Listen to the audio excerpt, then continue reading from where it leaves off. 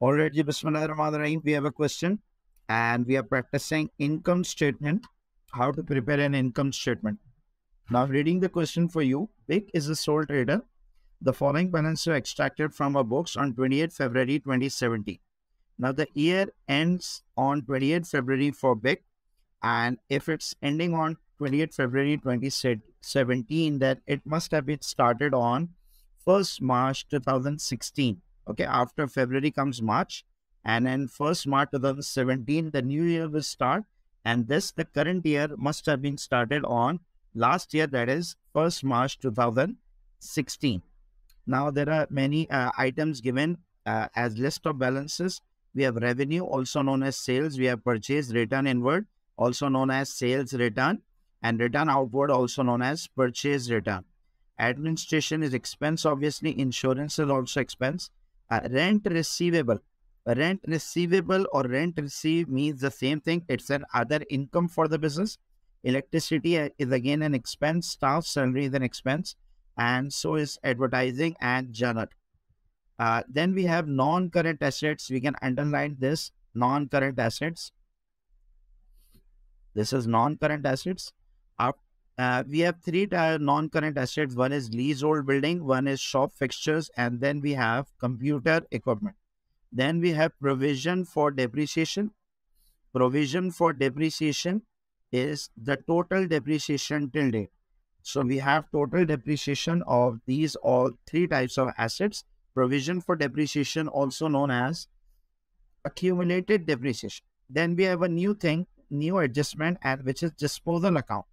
Now, what is disposal account? We have already uh, learned before uh, while studying non-current assets depreciation. So, disposal account balance can be a gain or it can be a loss. And if it's a debit balance, then it is a loss because loss has a debit nature. And if it's a credit balance, then it's a gain and gain is an income. Okay. So if it's written disposal account debit, this means it is a loss on disposal because loss is always debit, loss and expense as debit nature. And if instead if it's written that it is a credit balance, then it must be a gain on disposal. Then we have a bank loan. Now, as you can see, the year ends on 28 February 17 for Bik. And we have to repay the loan on, when on December 17. My dear students, if we have to repay the loan till 28th February 2018 in this question, then the, all of the loans that needs to be repaid the next year are known as current liability. Okay. So in this question, loan is a current liability. And if the loan needs to be repaid after February 2018, okay, so then loan is a non-current liability. And if the examiner doesn't mentions the date, then loan is always a non-current liability unless it is written as a short-term loan. Then it's a current liability. Then we have inventory. Uh, uh, we uh, studied in the last class as well.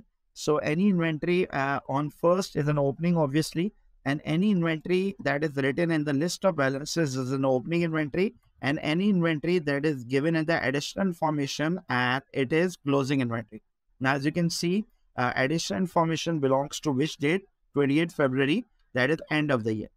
Now we have a bank balance. Uh, if the bank balance is written as a debit, this means it is a positive bank balance. And if instead it is a credit balance, then it must be in bank overdraft, that is a current liability for the business. We have trade receivables, that is customers. Uh, credit customers and trade payables are credit suppliers.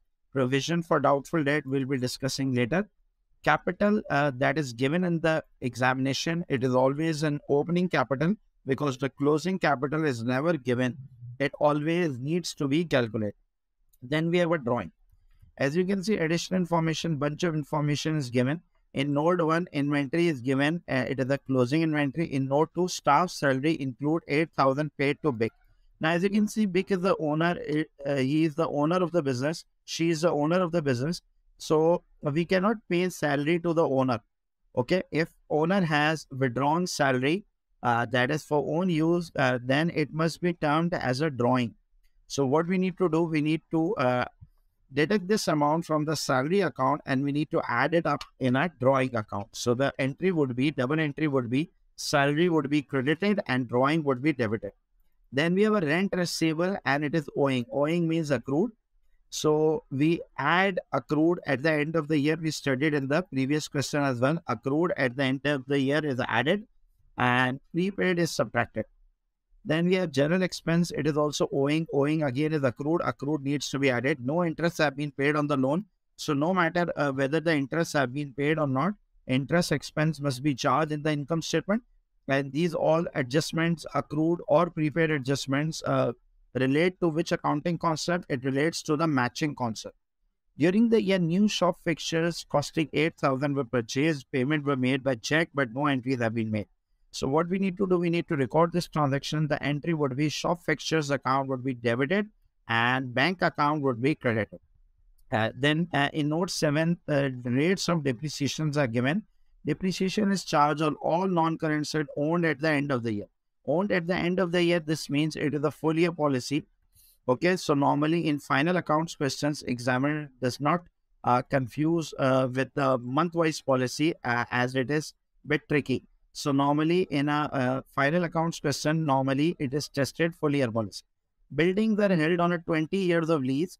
We have taken the building for 20 year lease and we need to chart depreciation on 20 years and we'll be seeing it in later part of the lesson. And then we have shop fixtures, 15% straight line and computer equipment rate of depreciation is 30% reducing balance. We have already learned how to calculate depreciation uh, when we were doing that topic. Then we have trade receivables, 2500 were considered irrecoverable. Irrecoverable means bad debt, and bad debt is basically an expense and should be written off. And provision for doubtful debt is 5%. So we need to charge uh, it as an expense or an income, depending whether the doubt is increased during the year or decreased during the year. Now we are going to solve the income statement part in this lesson. So we need to prepare an income statement. So income statement is normally prepared in two columns. So let me make the format for you guys. First of all, we need to put the heading. So normally heading is already there in an examination question. And if it's not there, you may put the heading. Uh, we would start with the name of the owner of the business, then income statement for the year ended and the year ended. Now, these two columns are not debit and credit. These co two columns are just for illustration purpose. Okay, anything that needs to be plus and minus would be entered in the first column and uh, any final balances would be entered in the second column. The first of all, beta, we have sales. Then from sales figure, we need to deduct return inward, also known as sales return, or sometimes examiner also refers to as uh, goods returned by customers. This is also return inward. Then we need to leave one line, and then it's a cost of sale. Cost of sale means the goods that we have sold for this amount, how much it actually costs the business to source these goods. Okay, it's a cost of sale. So we'll be starting with opening inventory, that is inventory at start of the year. Then we need to add purchases because uh, when we purchase goods, uh, our inventory would go up in our outlet. Then we need to deduct return outward, also known as purchase return. Now, as you can see, return inward is being deducted from sales, also known as sales return, and return outward being deducted from purchase, also known as purchase return. Then we need to add carriage inwards. Carriage is basically transportation cost so we studied earlier, there are two types of carriage. One is carriage inward and another one is carriage outward. So inward uh, belongs to the purchasing of goods. Whenever we are buying the goods, the transportation cost that we need to bear is carriage inward. And it need to be added to cost of sale. And carriage outward relates to the delivery of goods to customers. And that carriage outward part will go to expense. Then we have less closing inventory. We need to write closing inventory. Why are we deducting closing inventory? Because this inventory haven't been sold yet and it will be sold uh, next year. So therefore, we need to deduct the closing inventory. So therefore, it shouldn't be charged this year. Instead, it will be charged in the next accounting period. Then we have a cost of sales. So normally cost of sale is written two times. Uh, once when we are uh, writing as a heading and secondly in front of the final value. If we need a net sales and cost of sale, we are left with the figure of gross profit. And why it is called a gross profit? Because it is not the final profit. Uh, there needs to be made two adjustments in it. One is add other income. In other income, normally we write anything that is received, rent received or rent receivable, commission received or commission receivable means the same thing, discount received. So any income that is generated other than uh, while buying and selling of goods is known as other income. So there can be gain on disposal. It, is, it would be also written uh, under the heading of other income. There can be decrease in provision for doubtful debts, or there can be debts recovered, bad debt recovered. So these are all other incomes. Then we need to leave three lines for other incomes, and then when we can move on to the expenses part. And final answer will be profit or loss. Now let us start this and let us uh, put in the values. First of all, my dear students, we have what we have uh, sales. Now, as you can see, sales is also termed as revenue. So we'll be starting with revenue, and that is 410,000. Do we have a return inward? Yes, I can find return inward, also known as sales return. So if we deduct return inwards from the sale figure, I have left with this value, and this is uh, known as uh, net sales, but the examiner normally does not label this. So I am also not labeling this value. The, uh, actually, for your knowledge, this is known as net sales. Then we have a, a, opening inventory. Opening inventory is always given in the list of balance on the trial balance or the trial balance, and closing inventory is always written under additional information. So, though we have an opening inventory, then we have purchases, as you can see, we have purchases 216,800. We need to write purchases. Then we have a return outward, also known as purchase return, because we have returned these goods to our suppliers. Therefore, we do not need to charge this year. Okay. Then we have a carriage. Uh, do we have carriage in this question? There is no carriage. So I'll be putting a dash in front of carriage inwards. So if we haven't uh, made the format earlier, we can just skip this line altogether and we can write closing inventory just after the return outward. Then we have a closing inventory. Closing inventory is always mentioned in notes and opening inventory is always mentioned in this list of balances. As you can see, we have a closing inventory. Opening at purchase, less return, less closing. This becomes cost of sales. And if we deduct the net sales and cost of sale figure, we are left with gross profit. Now, in other income, we have anything that is received, rent received, or rent receivable commission receive or commission receivable, discount receive. So let us see, do we have any received other than trade receivable? Trade receivable is not part of other income. It is a current asset. Anything other than trade receivable, be it rent receivable or commission receivable, we have a rent receivable. Rent receivable or rent receive means the same thing. As you can see, we have received rent 15,000 and we also need to uh, see are there any adjustment relating to rent receivable yes, we have find, uh, found one adjustment and that is the rent receivable was owing. Now, as you can see, we have already received the rent worth 15,000 and rent received uh, worth 3,000 is still owing. So there's a mnemonic that we need to remember for accrued and prepaid. Accrued plus at the end of the year and prepaid needs to be minus at the end of the year. APPM. Okay, accrued plus prepaid minus APPM. So if it is an accrued at the end of the year, needs to be added. Now, what's the logic in that? Logic is we have already received rent worth 15,000 and the tenant still owes us 3,000 in terms of rent. So therefore, we have earned 18,000 worth of rent this year. Okay. And out of that, 15,000 has already been received and 3,000 hasn't been received yet. But uh, the tenant still owes the rent uh, that uh, he has consumed this year. Okay. So this accrued income is basically a current asset for the business. And this 3000 also needs to be written in a current asset in a statement of financial position that is a balance sheet. Now we can also calculate provision for doubtful debt. You have already uh, learned that if the provision is increased during the year, then it is an expense for the business. And if instead the provision is decreased during the year, then it is an income for the business. Okay. So we need to calculate provision for doubtful debt. First of all, we need to start with trade receivables.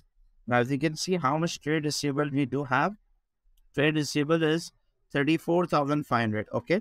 So we'll be starting with this. We are, I'm doing rough working whether the doubt has increased during the year or decreased during the year. Now, a doubt means uh, either the customer will pay or will not pay. Now, there are some customers that have already done bad. Trade receivables 2500 were considered irrecoverable and should be written off. So this means we are just considering them and we haven't written off them yet. But what we need to do, we need to write off this amount So out of this 34,500, I need to deduct the bad debt amount 2,500. Now I'm left with total trade receivables of 32,000. Now, uh, will these 100% of these customers will pay us? No. There are 5% doubtful customers. So 5% of them are doubtful. So what we need to do after deducting the irrecoverable debt, uh, I need to apply 5% on the remaining trade receivables and 5% of 32,000 becomes 1600. Now, at the end of the year, we have doubt of 1600 and this needs to be compared with the opening uh, receivables. Uh, sorry, opening doubtful debt. Now, as you can see in the list of balances, we had a doubt previous year that is 1100 and this debt was doubt was 1100 and this doubt has now increased to 1600 now as you can see the doubt has been increased from 1100 to 1600 it has been increased by 500 and if the doubt is increasing it is not a good news instead it is a bad news for the business so then it is an expense and not another income so if instead the doubt would have been decreased this year, that it must have been uh, stated under other income. Okay, difference between opening and closing. Now, as you can see, there is only one other income. So I need to add up and I can just write directly also in the second column. So what we need to do, we need to add up other income and gross profit. And this value is basically a no-name figure. It doesn't have any name. So uh, we can uh, skip this as well but uh, it's better to uh, write this 201800 no name figure because examiners sometimes give one mark for this value as well. Then we need to write expenses. My dear students, as you may be aware that irrecoverable debt, bad debt is an expense and it must always charge as an expense in the income statement. Then we have an increase in provision we have already calculated. Uh, what is the difference between irrecoverable debt and provision for doubtful debt? Irrecoverable debts are debts that already been turned bad, and doubtful debts are bad debts that will happen in the future. So we are estimating bad debts of the future year and we are recording them immediately. So it is uh, recorded under the concept of prudence. So prudence says uh, we must uh, anticipate the loss and we should record it immediately. Then we have some other expenses such as administration expense, as you can see in the question uh, it's better to highlight the, the way I'm doing it with the highlighter so we can clearly see that which adjustments are still left. Okay, we, we have paid administration 71,000 and we also need to make sure are there any adjustments in this or not. If there are any adjustments and you are not accounting for it, then you will be definitely losing marks. Then we have an insurance. As you can see, there is no adjustment in the insurance part as well. So insurance is an expense and we have paid 6,800 worth of insurance. Then we have electricity.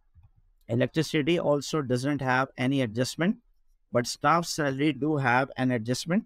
So let us see what is the adjustment part in the staff salary. Now, as you can see, the staff salary that is given in the examination is 59,700 and it should be charged as an expense.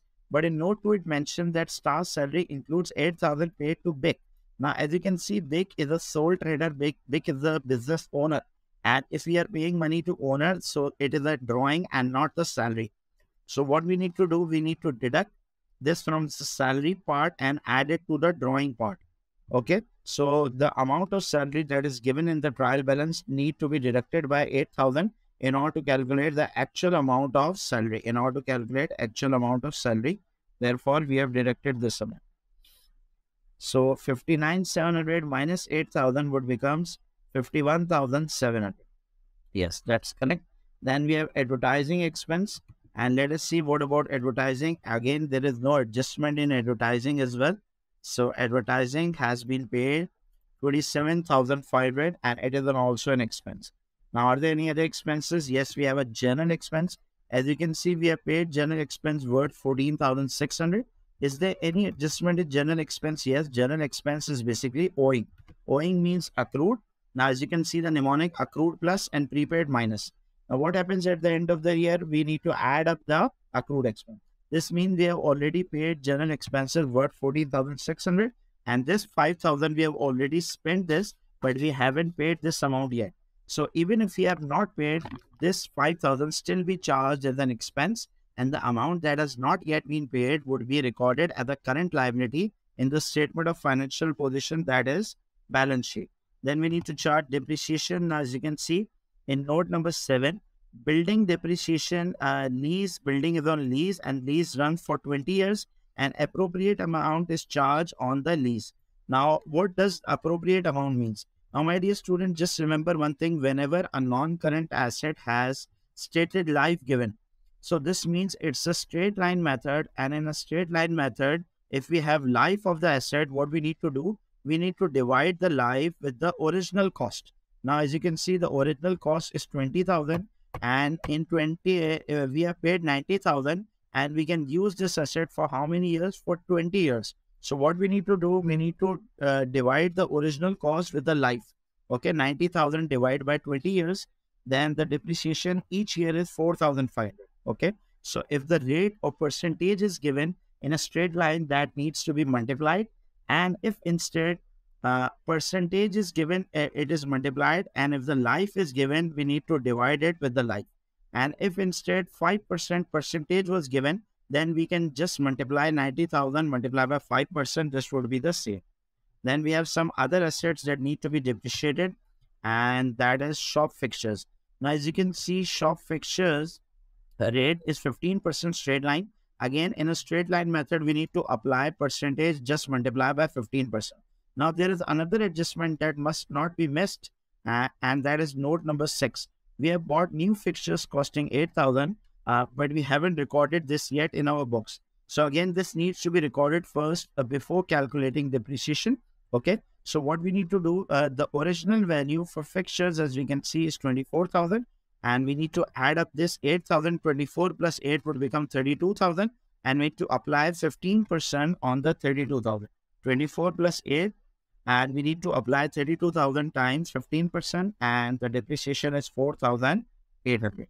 And lastly, we have a computer depreciation. Uh, but there is a difference between the computer cal calculation and other calculation. Why? Because in computer, we are supposed to charge the reducing balance method. Now, in a reducing balance method, as we have already studied earlier, we need not need to charge the percentage on the original cost. Instead, we need to first deduct the provision for depreciation. Now, as you can see, the computers that we do have, uh, originally cost us $60,000, but out of this 60,000, 42,000 has already been depreciated. How come we know that? Because there's a provision for depreciation already given. So what we need to do, we need to deduct the 42,000 provision from the original cost, and then we are left with what net book value. And what we need to do, we need to apply percentage on the book value. Now, this is important difference between a straight line method and a reducing balance method in a straight line method, we just apply percentage on the original cost. But in a reducing balance method, what we need to do, we need to first deduct the provision for depreciation and then we need to apply the percentage.